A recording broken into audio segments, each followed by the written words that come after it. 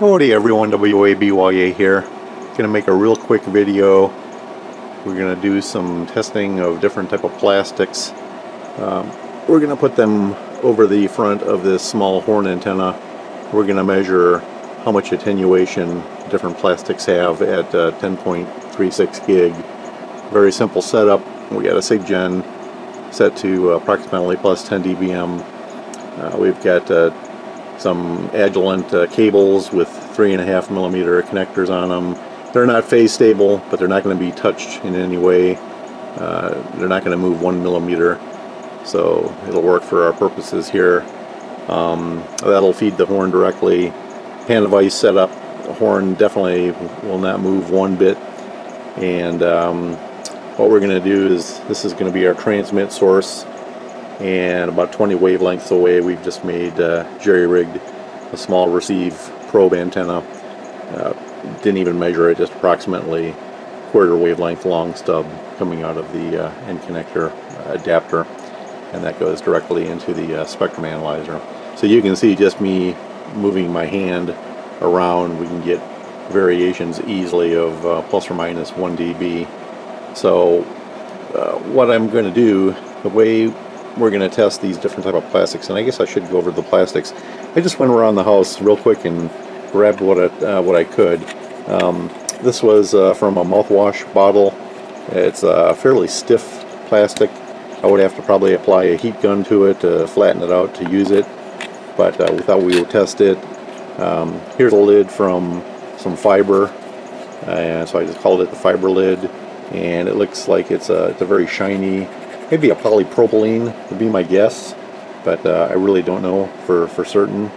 Um, we've got a coffee can lid uh, Maxwell House coffee can. And I thought it'd be interesting since it's pretty thick very durable and it's got uh, some pigment in it some dye so I thought it'd be interesting to test it. And we thought uh, we'll try some uh, garbage bags. And I picked this one because it's black and I'm thinking oh maybe they've got some carbon black in it so it'll be interesting to see what happens at uh, 10 gig. Um, grabbed a Ziploc bag, so just for the fun of it. Milk jug, went in the trash uh, container and I found we had a, a, milk jug, so it worked out just perfect. So I sliced a small chunk of that. Um, bird suet uh, containers, birds were done with some, so I just sliced it, cleaned it with some isopropanol and disinfected it, cleaned it, brought it in. Uh, D, uh, DVD case. Uh, I'm pretty sure this is polystyrene, if I had to take a guess.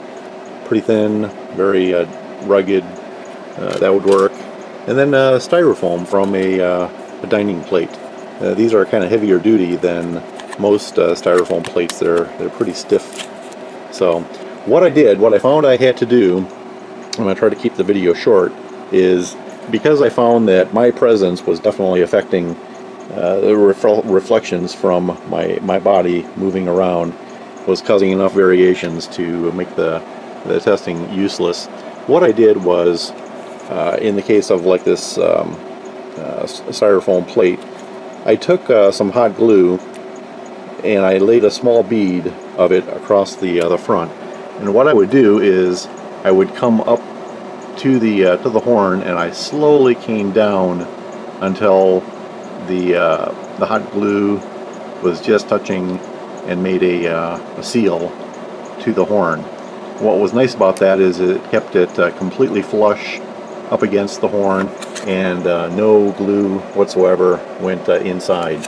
And that allowed me then to step away. I found that if I moved back at least about six feet, I could then zoom in uh, with the camera, get a, uh, a reading, and for example, I could do a, um, a max hold uh, or a, a peak search, and I could get a, a reading, and then I would simply, after documenting that, I would go ahead and um, all I had to do was just lift up on this and the hot glue separated itself very very quickly and easily off this cold metal surface so with just the slightest amount of uh, uh, force, this would just pop right off and it in no way affected the alignment or did I move this setup one bit.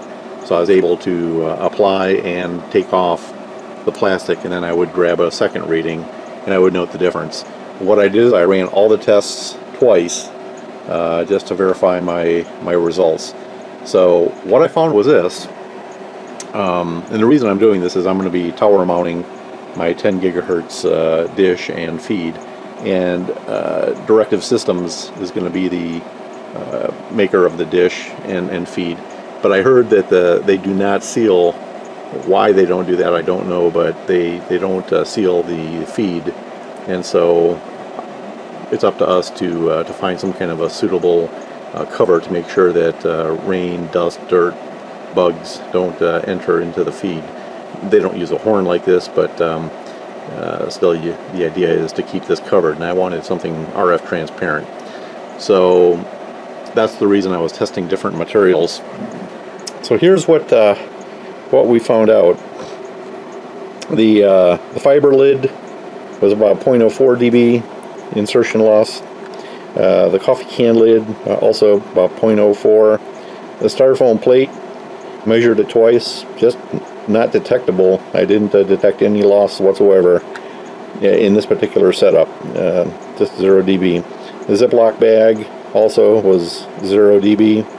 The mouthwash, plastic 0.04 dB loss. The nitrile glove, one layer was 0 dB. The suet uh, plastic, which is interesting, I measured that twice, 0.07 dB, and it was very thin, but surprisingly, whatever plastic it is, it a little bit more attenuation at 10 gig.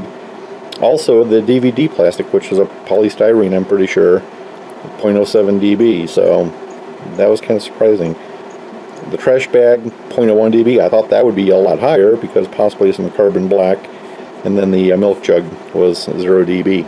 So, for me, it's a toss-up between the styrofoam plate or the milk jug, and I'm going to go with the milk jug. I think it's um, either one would, would work out just fine, but I think the milk jug is uh, more durable. It'll stand up in case uh, any birds or wind or anything uh, hits it. So there we go. Uh, I hope this is helpful. I was always curious to, to know for myself what different plastics did up at 10 gig and what would make a suitable cover for uh, aperture, open aperture antenna or feed, things like that. So 73, and uh, we'll catch you later. W8BYA.